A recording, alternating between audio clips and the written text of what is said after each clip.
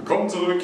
Ich habe meine Schubladen aufgeräumt und dabei bin ich über die Shortcut-Button gestolpert, die ich irgendwann mal in Ikea mit in den Einkaufswagen gepackt habe, weil ich dachte, für 6 Euro kannst du das nicht liegen lassen.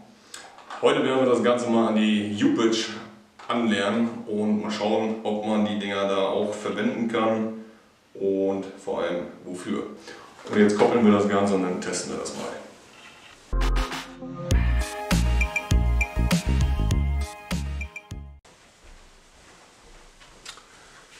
So, ich habe das Ganze mal vorbereitet, Deckel abgeschraubt und ähm, ja, wir brauchen die All for You App.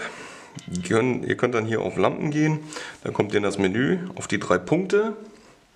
So, und da können wir dann den Touchlink der U-Bridge aktivieren.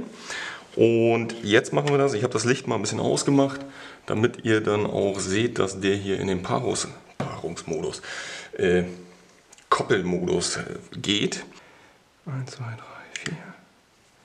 So, da leuchtet es rot. Jetzt müsste er gleich wiederkommen. Da ist er. Auf der Seite sieht man den weißen Punkt nicht so schön. Ich nehme das mal ab hier. Ah ja, da sieht man es besser. Denke ich. Ja.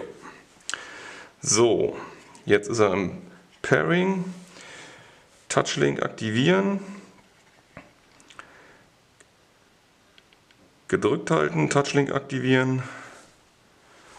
Und dann war es das schon. Zack. So, jetzt sind die schon mal miteinander gekoppelt. Jetzt werden wir den mit der Hue-Lampe verbinden. Also baue ich mal eben um. So, und weil es so schön ist, quasi neu und ist noch gar nicht bei mir im System mit drin. Deswegen binde ich die jetzt auch noch mal eben fix mit ein. Ich blende euch das mal ein, dass ihr das auch mal gesehen habt. Aber es ist absolut kindereinfach. Kinderleicht. So. Das, das, das. So viel zur Einfachheit.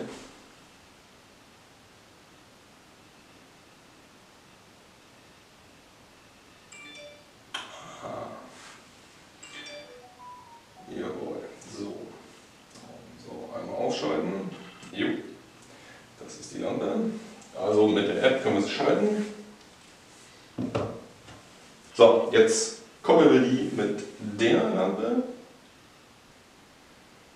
Mal gucken, ob wir das hinkriegen. 1, 2, 3. Jawohl. So, das war das schon. Dann gucken wir mal. Oh, ne, da haben wir noch was verkehrt gemacht. Da müssen wir nochmal machen.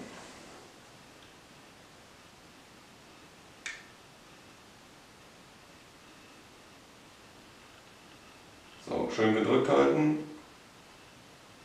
bis das Blinken aufhört.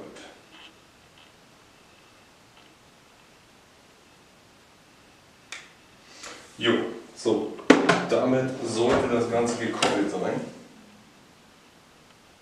Eigentlich. So, also wie gesagt, in der App noch schaltbar, an, aus, kein Problem.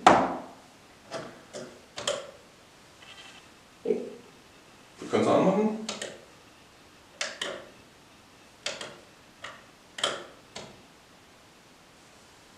Aber das war es dann auch schon. Okay. Also, mit dem IKEA Shortcut Button können wir eine Lampe anschalten.